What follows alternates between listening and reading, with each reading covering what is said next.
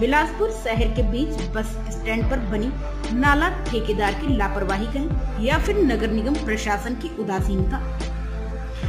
कोई कुछ भी कहे, लेकिन नुकसान सिर्फ़ आम जनता का हो रहा है, जो रोज़मर्रा की ज़िंदगी जी रहे हैं। जिनको व्यापार करना है, वो सबसे ज़्यादा परेशान है। दरअसल, पुराने बस स्टैंड स्थित नाली को लेकर व्यापारियों ने नगर निगम और विधायक पर गंभीर आरोप लगाया है। व्यापारियों ने कहा कि नाली की वजह से हर साल बारिश के मौसम के समय तालाब बन जाता है, जिसकी वजह से नाली कहाँ पर है, गड्ढे कहाँ पर है और सड़क कहाँ पर है, इसका पता नहीं चल पाता है। जिसके कारण कई लोग गिरकर घायल हो चुके हैं। यहाँ के व्यापारियों का कहना है कि नाली को भी अधूरा बनाकर छोड़ दिया गया है, जो लोगों के लिए खतरा बना हुआ है इसमें कई लोग गिर चुके हैं। महीने बीत गए हैं, लेकिन अब तक इसका निर्माण कार्य पूरा नहीं किया गया है। किस तरीके से हो सकता मैं तो पूछना चाहता हूँ दो लोगों से जो तेज़ धार करा रहे थे वो कहाँ हैं? क्या उनको दिख नहीं रहा है कि बस स्टैंड में क्या स्थिति है?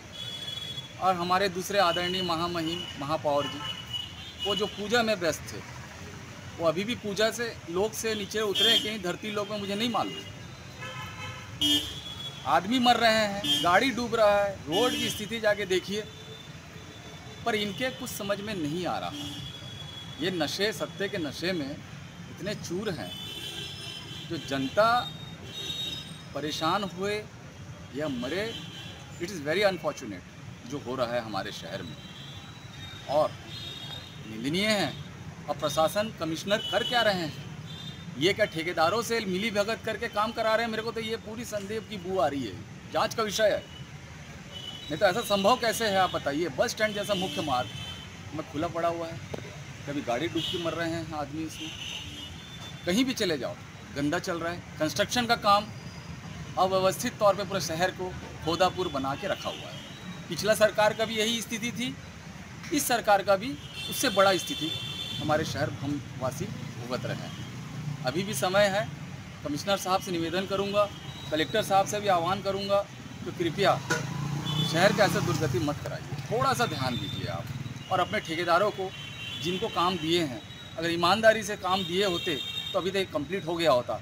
नहीं तो मैं बता रहा हूँ, मुझे सिर्फ़ आठ घंटा चाहिए, वो जो खुला है उसको ढकने में। अगर मेरे इजाज़त नहीं देता कानून, नहीं तो मैं अपने पैसे से खर्च करके वो ढक देता हूँ।